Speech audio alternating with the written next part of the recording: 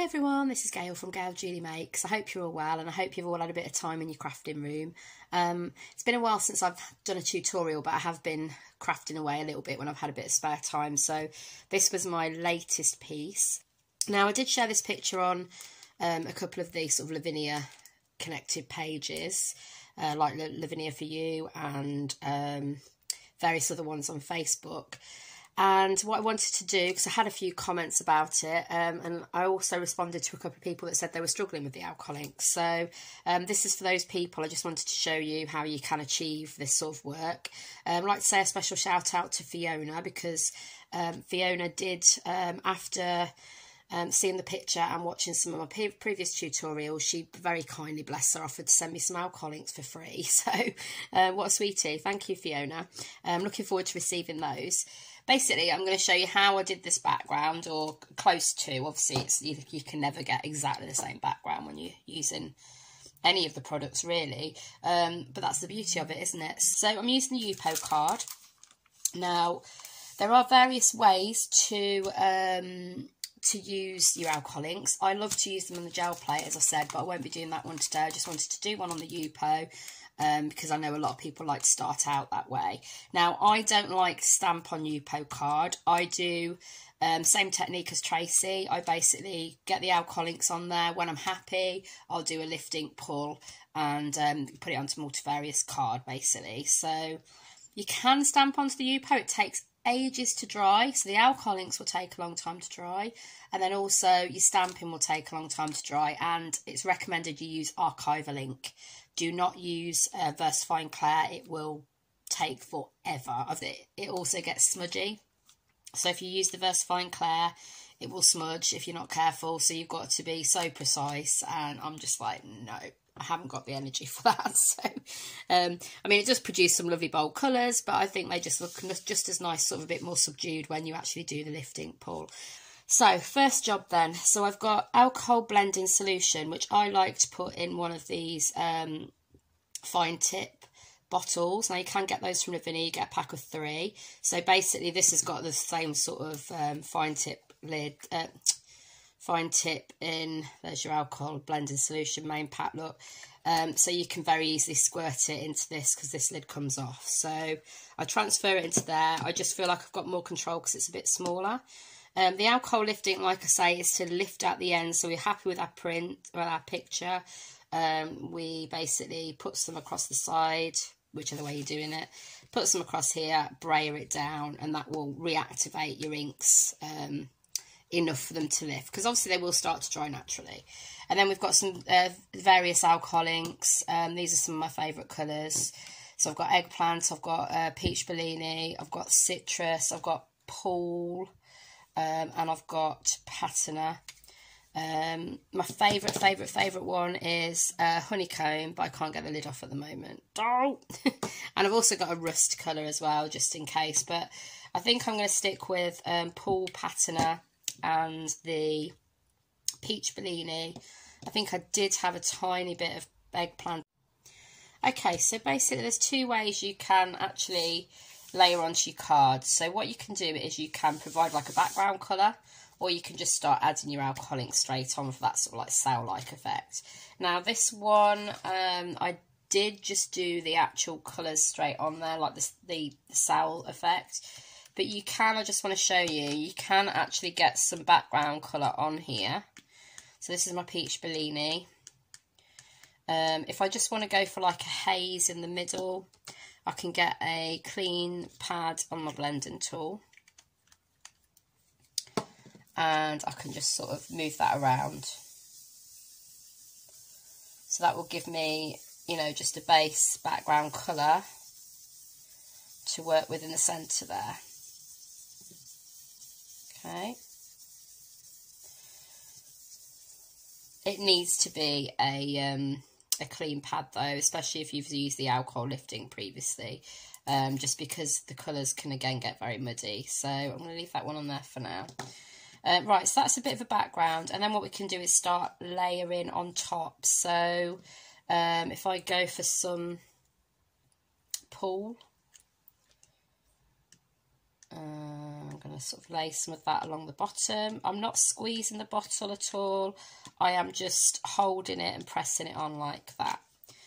And then we can, we'll get a bit of patina. Okay, and we'll add some of that too. Now obviously you can add on to the previous um, marks that you made, makes it a bit more interesting.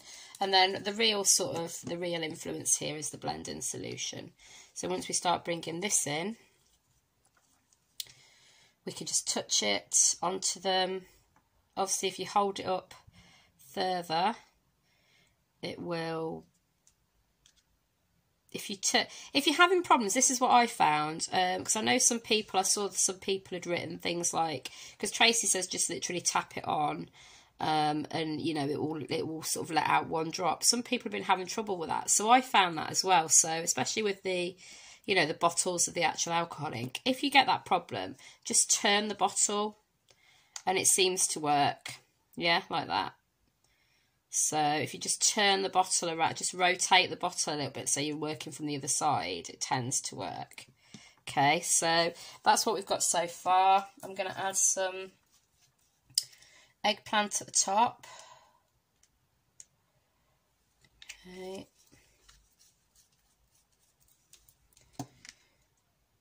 And again, we'll just get that moving.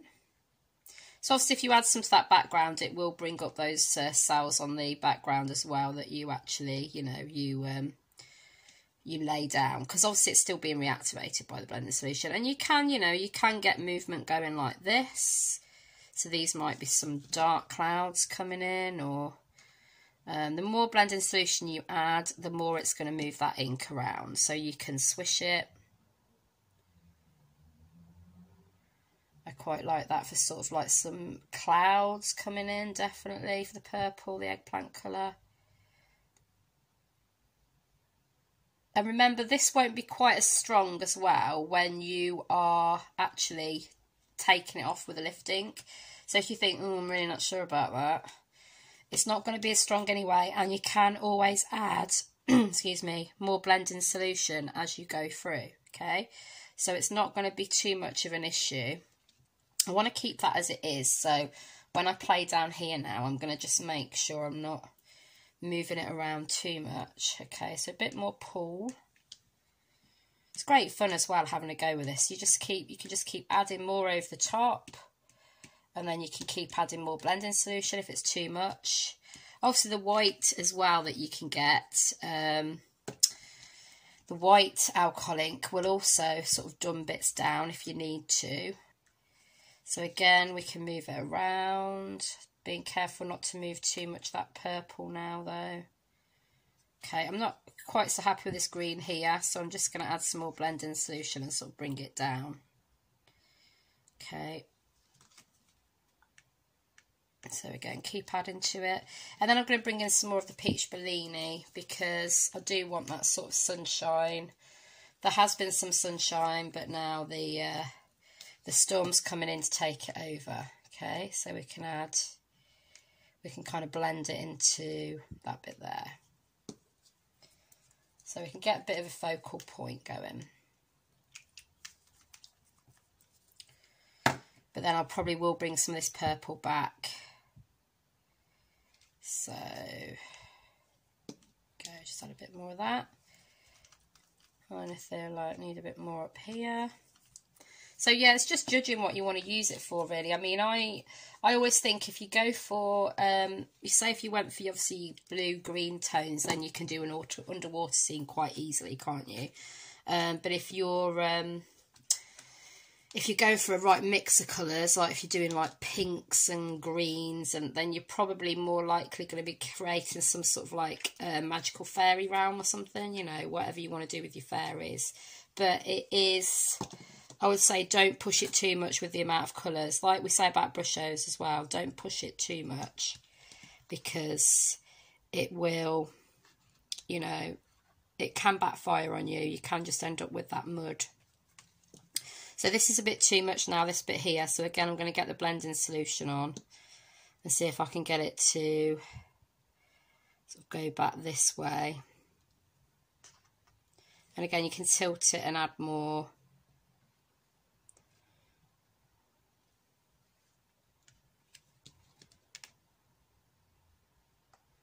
To go back the other way, add a bit more here. So it really is just a question of, you know, keeping at it, keep moving it till you're happy. Quite happy with that. Maybe just calm that down a bit there. Maybe add a tiny bit more. Now you can do another technique as well, which is basically you can put blending solution down first and then add your ink over the top. Now that obviously don't quite have as much control over that because you don't know where the original alcohol ink was. So, you know, it can be a bit more awkward, that one. Now, I'm kind of getting lots of flatness now, so I'm going to add in a bit more. Let's go for patina again. And what you can do as well is, so if I add a lot of patina in, that area there, I can then do what we talked about, which was get your blending tool, get another, again another sort of clean side, put a bit of your alcohol lift ink on, just literally a few dabs, and then you can start doing this to get a more sort of mottled a more mottled effect and you can spread some of that purple too then. Yeah, so I think like, you know, these areas here are where I've kind of spread it a bit with my blending tool. So I'm loving this area here now and this area here is nice. So it just kind of, you know, breaks it down a little bit more. So if you're kind of thinking it's just gone too flat, there's nothing interesting about that anymore, then just go in with that blending solution, with the um, lifting, sorry, and get going. Start taking some off. Like, for example, I'm going to go to my purple last because as you can see, it's spreading a bit more of the purple around now. But if you want to fill areas with just something really faint, then just go in there. Can you see now I'm kind of filling my my edge area there so it's not looking quite so stark at the edges. So I'm going to add a bit more uh, patina, sorry, a bit more of the blending solution. And then I'm just going to dab it so it's got that lighter effect. Again, not happy with this bit. Going to go in with a bit more pull because I want a bit of contrast of colour. Because obviously they're very similar colour, but they are still different. Um, and there we go, we're starting to get some interesting shapes. And this kind of helps to serve stop it moving as well. So, you, you know, you still got that big cell, but you've, you've sort of stopped it moving. So then I think what I'm going to do is I'm going to get a bit more peach Bellini in here. Okay, and I'm going to stop that there. So again, it will have tinge of the green, but I'm going to stop it I, obviously you can change your pad. Change your pad as many times as you want. I just I, I'm very low on pads basically which is what's stopping me from doing that. But if I did have more pads I would do that definitely. Okay so this is starting to look really interesting to me now. So what I'm going to do is just break up. I think I'll just add maybe another bit here. And then break that up yeah, okay. Uh, we'll see if we can just extend a bit of that there. Okay, so I'm happy with that as it is now. Um, so what I'm going to do, is just put your lids on everything because you don't want that smelly. Don't want smelly unless you have to put up with it. Now what I'm going to do then is I'm going to use the alcohol lift ink as we said. So I'm going to turn it around because I find it easier doing it that way. And I'm going to get my brayer and a piece of card to I've got some A4 card left. I'm still waiting for my A5 annoyingly, but uh, should be here soon. And what I'm going to do actually is, even though I don't tend to use this one because it's got acrylic on it, I am going to have a go at using my my wider brayer because it just, this is the one I usually use. And if it's not dry, it's not as dry as it needs to be, it you'll get lines coming up. So if you've got a wider brayer, I recommend it. If you've got an even wider one than this one, I can't remember what the size this one is. Anyway, so if you've got a wider one than that, try and get one that's the same width as the Yupo paper you're using basically. So this is A5, try and get one that's that wide. You can just pull it down once and then you won't have that problem that I have of getting the lines. Although it did work quite nicely on that piece, you can kind of see some of them. And they kind of, I think it works on this one, but you know, it's up to you. You might find that really frustrating. So what I'm going to do then, I'm just going to come in with an old, um, an old sort of rag and I'm going to add some more effects just with this look so I'm just I'm just basically drying it down a little bit more but I'm also getting some nice effects in there as well in that sky. Yeah so it just gives you a bit of something else. Um, gives you another texture basically. Okay so happy with that. Okay and then what I'm going to do then is I'm going to we've got to be quick with this. So we're going to rub the alcohol lift ink along the top. So again, this is by Ranger. We're going to put a nice even layer across the top and we're going to brayer it down as quickly as we can, okay? So if I pull this down a little bit, we're going to, you can see, look, it's going across. You might not be able to see very well. I'm putting a nice even layer on and then I'm going to pull this down and pull it down just one more time in the middle yeah or one one more you can see look it's already started to move it it didn't do too bad this side but it started to move the purple but I'm fine with that get the A4 on quick and then rub it okay if you're not quick it will just start to dry again and this like I say will be a lot lighter than what we've actually just seen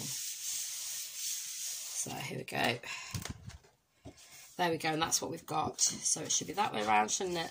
So really pleased with that one. I think that looks lovely. Okay, so that is quite a brooding sky coming in, isn't it? Um, yeah, really pleased. So what I would do with next job, before you do anything else, is wipe your uh, brayer down, yeah? So get it rubbed off like that just so it doesn't sort of stay on. And also, I recommend give it a clean with a baby wipe as well. Because you don't want to be leaving things like all these alcohol liftings and stuff on your brayer. So there's my clean brayer. And I've got my lovely background. So we can work with that, okay? Um, that would make a nice um, underwater scene because you can have the light shining through. I actually don't have any of the uh, the Lavinia underwater stamps, believe it or not. But, um, you know, I'll probably get some now. I know I can get this nice effect. So that is the Yupo paper. Still, um, still actually a little bit of alcohol ink on there. You can give it a rub down with with a wet wipe. Doesn't really get much off, but basically you can reuse this now. So you can reuse that as many times as as you like. I do find probably two or three times. After that, I start to feel it kind of loses its mojo a little bit, but it's good that you can reuse them. So we've done our background, really pleased with it. So I hope that's helped a lot of people out. This was my original one. As you can see, the sun is actually on the opposite side on this one, so that's something I should have mentioned. Um, obviously, when you pull it, it is going to come out on the opposite side to where you're printing it. So if you're doing your sun this side, you're doing your yellow ink this side, when you pull, it's going to come out on the opposite side, okay? So just be wary of that. Um, so what I'm going to do basically, I'm not going to print, I'm not going to do exactly the same as this one because um, I don't I just want something a bit different. And I see something a bit different in this one to what I saw when I did that one. I'm very much of the I need to sort of step back from it, have a look at it, think about what sections remind me of what. Obviously, that's going to be your sun element. That's the uh, darker sky creeping in. This bit is going to be, um, again, it reminds me of like a bit of maybe a frozen lake. Um, so, you know, I'm kind of thinking about what it is and how I can recreate something on here. Okay, so this is the finished piece then. So this is using that same background we've just made.